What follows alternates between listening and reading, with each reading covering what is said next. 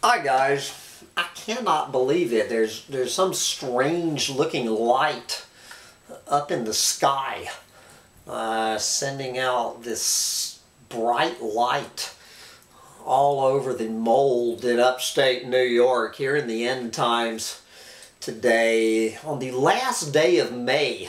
The last day of May, we are getting a few stray rays of sunshine in the Finger Lakes of uh, upstate New York here on Friday afternoon, May 31st, 2019. So I want to get into a talking about uh, stray rays of sunshine. I want to get into this big story about and from the Washington Post from uh, the flooding over in uh, out in the Midwest uh, as part of my Friday ecological meltdown roundup rant. Now, as you probably have started to figure out, I took the Mongabay roundup. It is over at Collapse Chronicles, where people might actually listen to the rant over there. So you can find the manga, the full Mongabay roundup of stories over at Collapse Chronicles. And I will just run through the headlines at the very end of this rant to tell you what's going on over there. And uh, for the Washington Post, we're going to center on one story. But before we dive into the main story about how we are so fucked, this is a combination uh, uh, ecological roundup rant and a we are so fucked doomer headline story let's just go over here for a few minutes to the Center for Biological Diversity. And we're going to go take a look at their Endangered Earth uh, roundup for the last week of May. And it looks like the Center for Biological Diversity is in full lawsuit mode as they have been. They have been in lawsuit overdrive since you know who uh, took over at the White House. So what is going on this week? Trump sued to save eight species on the brink. President Donald Trump's U.S. Fish and Wildlife Service has failed to safeguard seven animals in one plant that its own scientists admit desperately need protection. This is just the latest lapse of this agency under Trump, whose officials have so far protected fewer species under the Endangered Species Act than any administration in more than 30 years. That would probably be since the Ronald Reagan administration.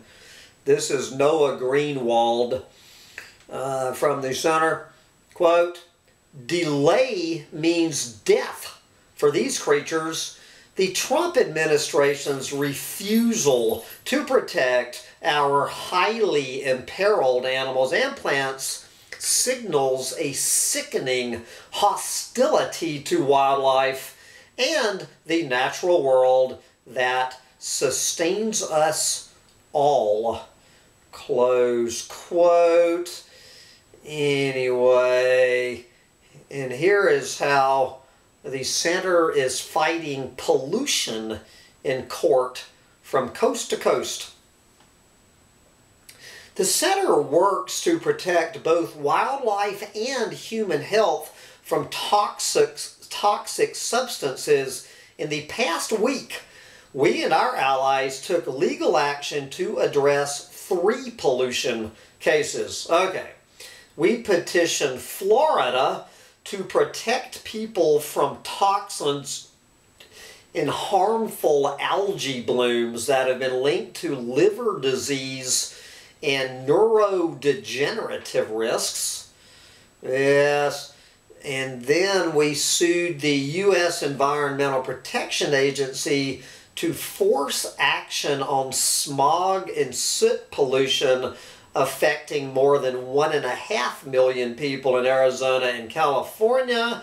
And we sued the JBS Swift beef company to stop illegal discharges of slaughterhouse pollution into Colorado's South Platte River. A busy week in uh, at the center. Okay, I love it when they ask a question. Why don't we hear about more extinctions? We are in the middle of a global extinction crisis. Media worldwide covered the recent UN report predicting that in the next few decades up to 1 million species will disappear due to human impacts.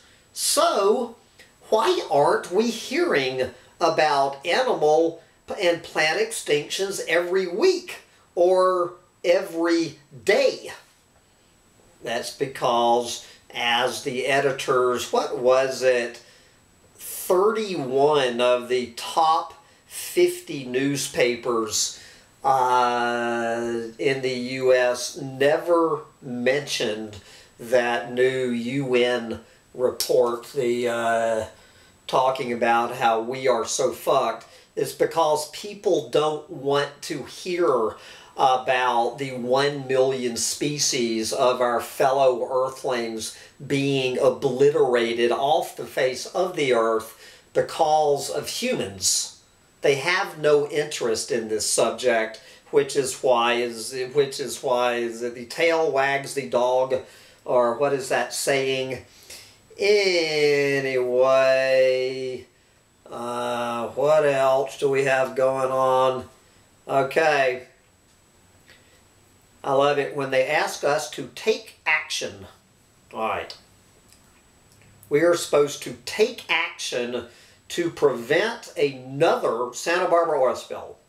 This month marks the fourth anniversary of the catastrophic failure of the Plains All-American Pipeline off the coast of Santa Barbara.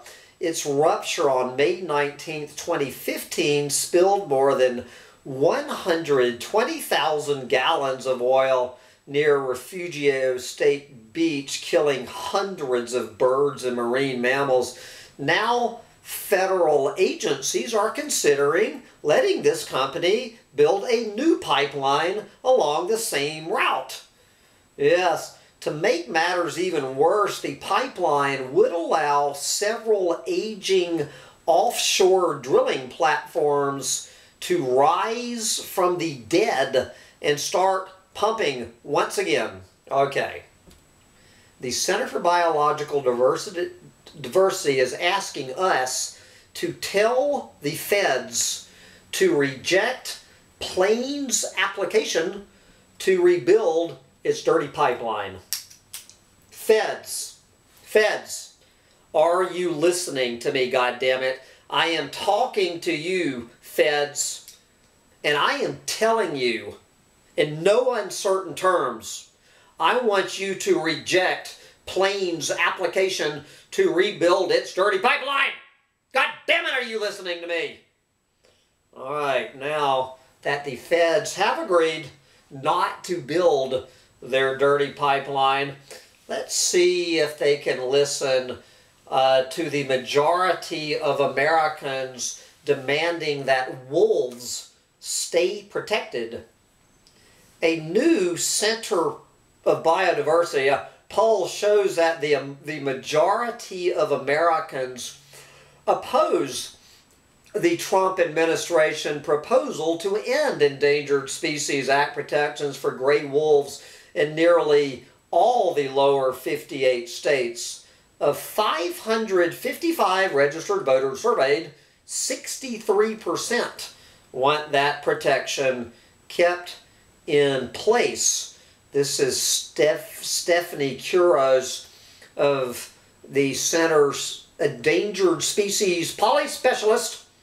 Quote, with such widespread public support for wolves, Trump should scrap his wrong-headed plan. All right, we're, we're, we're having another call for action. I cannot believe it. We're having two calls for action in one uh, Endangered Earth newsletter. Okay. Take action to defend our public lands from Trump's push for coal. In 2016, the U.S. federal coal leasing program was officially put on hold to look at its climate pollution and faltering economics. But now, President Donald Trump wants to resume selling off our beautiful public lands to the coal industry, no matter the cost to our future, and we need you to help stop Donald Trump. His administration has simply launched a new plan for more coal leasing across the country and, in effect, told us not to worry because it will have no significant impacts. That conclusion is wrong and dangerous. Hmm, more than 13% of all U.S. carbon dioxide pollution came from federal coal in 2014. And each new lease means more harm to our air, water, wildlife, and climate. So act now to tell the Trump administration that the coal leasing moratorium must stay. Donald Trump administration, are you listening to me, God damn it? You evil motherfuckers. Are you listening to me? I want you to let the coal leasing moratorium stay in place. All right. Thank God. Uh, now that the coal moratorium has been left in place, because Hambone Littletail took some goddamn action. Instead of just sitting here bitching, I am taking action. Anybody acting like that Hambone Littletail is not taking any action. I have taken two actions. I have, uh, right now in the last five minutes, I have had a coal leasing moratorium on our federal lands stay in place. There will be no more coal mining on federal lands under Donald Trump and there will not be a, a new pipeline in, off the coast of Santa Barbara. I have done my part. I want to know what the fuck you have done in your own individual consumer and lifestyle choices to take action. You know? Get off your ass. All right. We have some hopium we do have some hopium. Court upholds hope for near extinct porpoise. This would be we now have hopium for the vaquita. There are only about 10 individual vaquitas left in the entire world, but the Trump administration has been trying to end a ban on Mexican shrimp and finfish imports caught with gill nets in the Gulf of California. Nets largely responsible for the vaquita's plummet towards extinction, but all is not lost. A U.S. Court of Appeals has rejected Donald Trump's request, leaving a glimmer of hope a glimmer of hope for the last 10 individual vaquita porpoises left on planet Earth. But we're going to close with, for anyone who does not realize this, the beef industry bites. This is why I do not eat beef. The beef industry takes a big chomp out of the world's resources and doesn't show many signs of biting off less, writes the Center's Jennifer Molidor in EcoWatch. Beef is a leading contributor to climate change and species loss, yet the U.S. cattle industry's hilariously named Roundtable on Sustainable Beef Roundtable on Sustainable Beef is paying lip service, lip service to action by offering its joke, weak, voluntary sustainability framework, and it just does not hold meat producers accountable. Do you think so? Okay, and as I say, I'm going to go over the Mongabay uh, headlines in just a minute. But we're going to turn over to our main story of the day, which is going to also qualify as our We Are So Fuck Boomer headline of the day. And this is the Washington Post weighing in uh, this week on extreme weather is pummeling the Midwest and farmers are in deep trouble. Yes. In Kendall Culp's corner of northwest Indiana, relentless rain began falling on his farm months ago, saturating the ground his family has nurtured for generations and delaying the start of their planting season by more than a week. And they're talking about Indiana. I mean, up here in, in upstate New York, as far as I can tell, nobody has even planted their corn yet. It's going to be June 1st tomorrow, and I see almost no indication that any corn has been planted here in New York. They don't even talk about New York in this article. The rain eased up briefly at the end of April, enough time to plant corn on about 350 of his 2,000 acres then the rain started falling all over again. Quote, there's just not a lot you can do. Do you think so? Uh, nearly 90% of his corn crop is already growing as a result of a few hard days and long strategic hours in the field but he has yet to plant a single soybean. And last year he was done planting everything by the first week of May. Uh, quote, I have never had a yield where I could not get my, a, I think they meant a year, where I could not get my crop planted, Culp said, noting that his father, who is in his 80s, recalled the same Quote, this is unprecedented what we are facing. For months now, the Culps and many farmers across wide swaths of the Midwest have rarely seen days dry enough to work leading to what agricultural experts are calling a historically delayed planting season that could exacerbate the economic and personal anxieties brought on by a multi-year slump in farm prices, not to mention the Trump administration's trade war with China, the world's largest soybean buyer.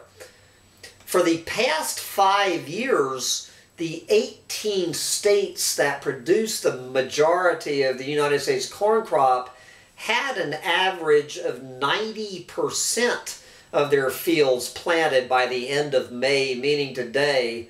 Uh, at the same point, this year, 58% of the corn crop has made it into the ground, and the outlook for soybeans is even more dismal with 29% of soybeans in the ground compared with 66% uh, last year. And in individual states, the gap is even more severe. Just 22% of the corn uh, crop had been planted as of May 26 in Indiana, with soybeans at 11% uh, in the ground. This is John Newton, chief economist at the American Farm Bureau, noting that this was the worst planting day on record since the USDA began tracking such data in the 1980s. Quote, week after week, farmers have not been able to get out in the fields to plant corn and soybeans. The frequencies of these disasters, disasters, I cannot say we have experienced anything like this since I be since I have been working in agriculture. Close quote.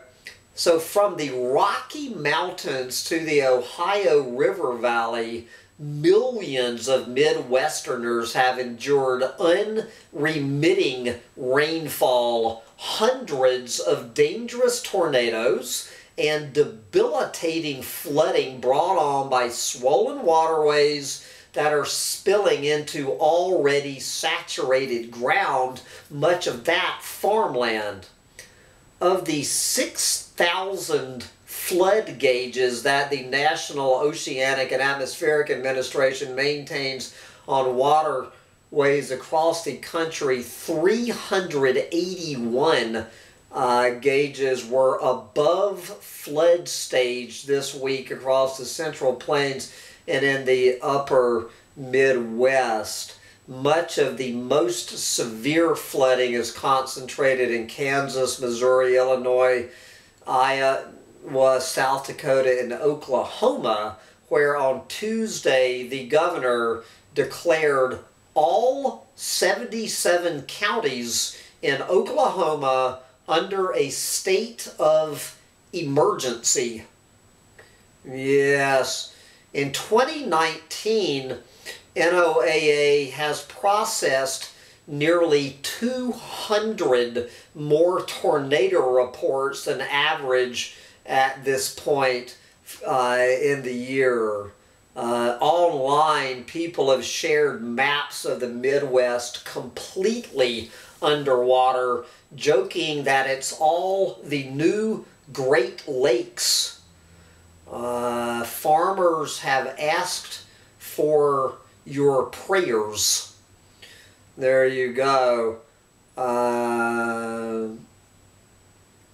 and so here is so here is you know here here's where we get to the part of the story that doomers don't like to hear although the setback is causing duress among farmers it may not necessarily be felt by many consumers in the grocery store much of the corn crop being effective is grown for livestock feed and ethanol processing. So potential shortage shortages of both of these might drive up those prices. Uh, and then they uh, they talk about how all of this is hitting in the context of a multi-year slump in farm prices. Uh, quoting uh, Alyssa Harvey, director of Farm Aid, it's another wave of an ongoing crisis. It is a perfect storm. It cannot be overstated the amount of stress and angst in farm country right now.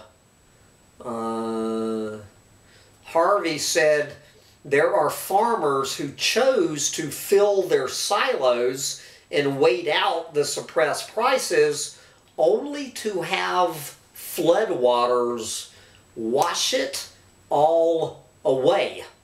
Some farmers, huh, some farmers blame this spring's extreme weather on climate change. Another example of the way Mother Nature has become increasingly unruly and predictable alongside historically strong hurricanes, bitter cold, and devastating deadly wildfires. Others, like Farmer Culp, say they have accepted that farmers cannot control the weather and should instead look to look to federal aid and insurance program programs that help people like him when the crops don't cooperate. Uh, Yes. Uh, anyway, and guys, well, this uh, this article goes on and on. I will put the uh, the link um, to this. Let's move on down uh, the story here. Harvey said that the Farm Aid Hotline has been inundated with calls from concerned farmers who are actively in disaster triage. Last year they had a 109% increase in calls over those received in 2017. Usually about 20 to 30% of calls are crisis related by the end of last year, nearly 75% were related to natural disasters. Most weeks they get calls from farmers who say they are suicidal. This is Bev Leidick, whose family has been farming in Nebraska since 1857. Quote, I can't even hardly put it into words it's just so defeating. We have water standing in some fields that we have never seen water stand in. She said she believes climate change is a contributing factor and joins a chorus of other farmers in her small community who think the Army Corps of Engineers and Congress bear some responsibility for the way their waterways are being managed.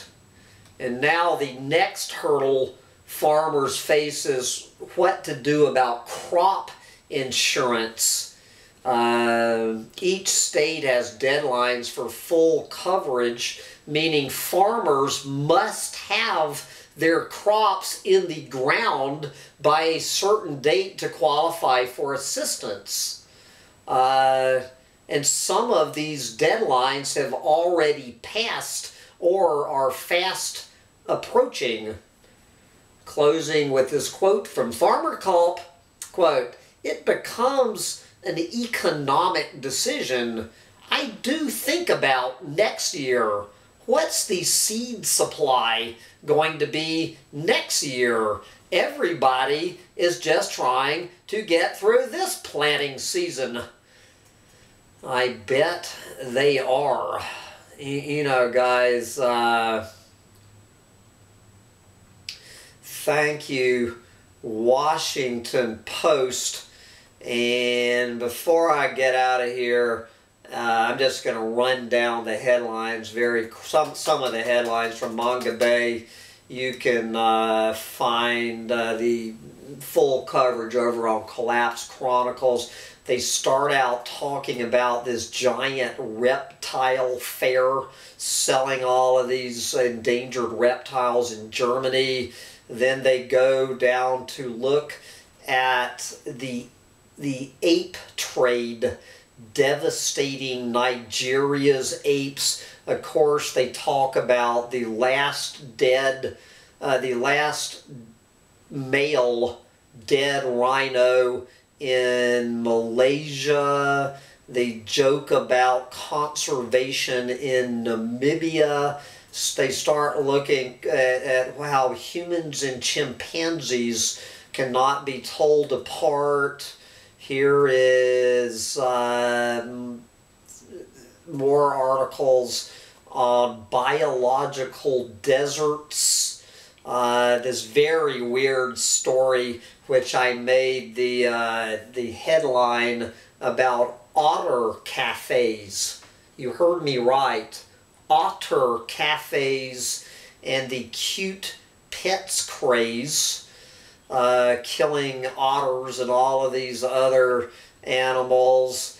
This weird story about how the United Nations now officially recognizing traditional Chinese medicine. We go look at the single most fucked place on the planet, the Harapan Forest in southern Sumatra. Let's see. Uh, the jokes about these marine protected areas. We look at the stumps of mystery forest. We look at how Ecuador's isolated indigenous tribes are completely fucked. We look at uh, the coal industry having the country of Indonesia in its pocket. Uh, anyway, a lot going on in the collapse of a planet over at, in Mongabay. But anyway, I've got to wrap up this week's uh, ecological meltdown roundup rant because uh, I have a gig in uh, in two hours. I'm supposed to be having a gig at an open mic and I need to go practice for my gig, getting out there and enjoying it while I still can by getting together. We're going to have a little mini meetup, uh, a little Humpty Dumpty tribe meetup at the open mic tonight. I will see you doomers there. Get out there and make music while you still can. Bye, guys.